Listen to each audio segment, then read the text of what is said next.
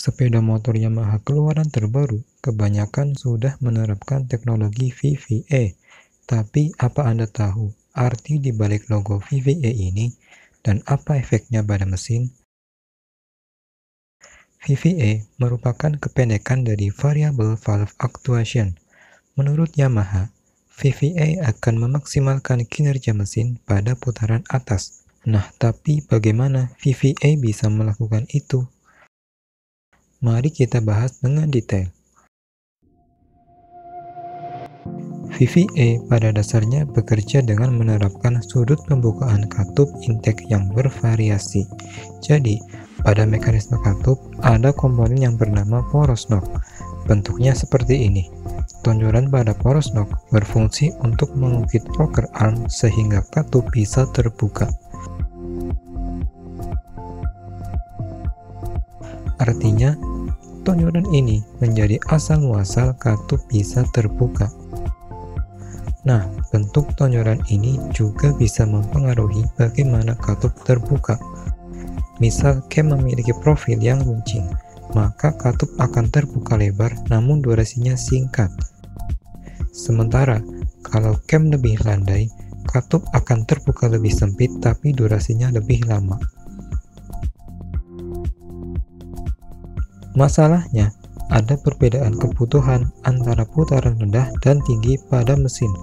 Apabila kita pakai cam berprofil rendah, maka mesin masih oke okay di putaran rendah sampai menengah. Tapi di putaran tinggi, mesin akan kekurangan daya karena udara yang terhisap itu terbatas. Sementara kalau kita pakai cam berprofil tinggi, tenaga mesin di putaran atas bisa maksimal, tapi di putaran bawah mengalami kelebihan udara. Akibatnya, mesin jadi susah langsang. Nah, teknologi VVA bekerja dengan menggabungkan dua, dua buah cam dengan profil yang berbeda. Cam dengan profil kecil bekerja pada RPM rendah sampai menengah, sementara cam dengan profil besar bekerja pada RPM tinggi. Lalu, bagaimana cara kerjanya? Anda bisa melihat animasi ini. Bisa Anda lihat, ada dua intake rocker arm dan satu exhaust rocker arm. Dua intake rocker arm ini terhubung ke cam dengan profil yang berbeda sehingga gerakan rocker arm pun berbeda. Lalu terdapat pin dan solenoid. Saat RPM rendah sampai menengah, solenoid belum aktif sehingga katup dioperasikan oleh cam dengan profil rendah. Ketika menyentuh RPM tinggi, solenoid mendorong pin sehingga membuat intake rocker arm menyatu. Ini membuat katup beroperasi mengikuti cam dengan profil tinggi sementara cam profil rendah mengambang. Ketika putaran mesin turun, solenoid kembali masuk.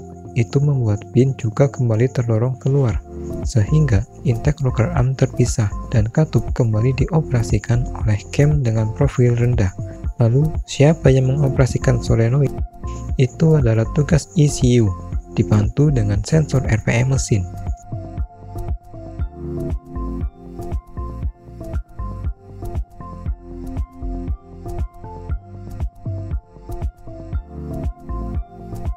Jadi, VVA itu sebenarnya cukup simpel karena menggunakan dual intake cam dengan profil berbeda yang bekerja secara bergantian tergantung RPM mesin.